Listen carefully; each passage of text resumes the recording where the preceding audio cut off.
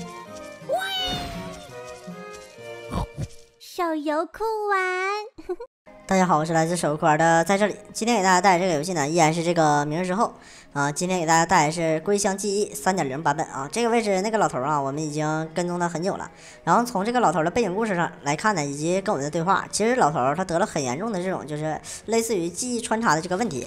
他将他原前身边的所有朋友以及他的战友或者是他的上司啊，他们中间听到的故事以及他的记忆，已经是混为他自己的了。就是他认为他周边人发生的所有事情都在他的身上已经发生过一次了，所以说这个位置啊也是，呃有一些 怎么说呢？这个老头思想上可能出现了一丝丝的这个问题。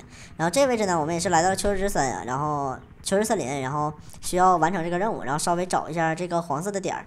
嗯，怎么说呢？这个游戏其实大家过于追求战斗熟练度或者是一些啊这个表面上的东西，就感觉玩起来没什么太大意思了。这游戏其实我个人玩起玩起来啊，就给我感觉玩起来最有意思的点啊，就在于它本身比较浓厚的这种背景故事。因为其实末世题材的游戏，我们大家应该都玩过，大部分都是以这个丧尸或者是养成类游戏为主。像这种末世生存，然后并且背景故事玩的就是整的比较完善的故事呢，其实是非常少的啊。大家可以通过里边人物的一些任务，然后来解锁人物的各种性格。就比如说啊，我们第五商会的接刚也接待我们那个漂亮的小姐姐啊，她本身比较乐观。然后我们遇到的钓鱼大师，就是教我们钓鱼的这个人呢，他就是有一种看破这个红尘的这个感觉啊，可能。啊，可能真的看破了吧，这个也不知道啊。那这位置呢，我已经看到了这个任务光点啊，就那个白色的，所以说这位置我只要游到对岸就可以了。嗯，在这个游戏里，其实最大的问题就在于大家有多少闲余时间啊？因为这里的闲余时间是需要大家用这种比较空闲的时间来解锁一些啊什么。等会儿啊，这位置好像是我们幺零幺商会的会长，他说没想到会在这里看着你，然后他的朋友说啊，你也是希望我死了吧？啊，让你失望了。那么这个地方。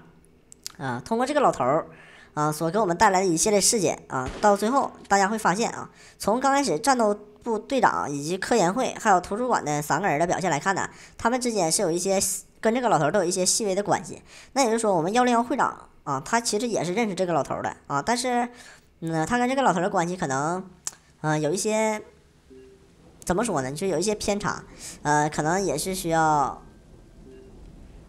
怎么？你穿？哎呦我的妈呀，兄弟，你这个最后还秀了一下我们幺零幺的会长啊！那这地方呢，归乡记忆三点零啊已经完成了啊，也就是牵出了另一条主线，就是这个会长啊，会长也是参与到了这件事情当中。然后具体，哎呀妈呀，这天空一道雷，吓我一吓我一跳啊！我还以为昨天发的毒誓应验了呢。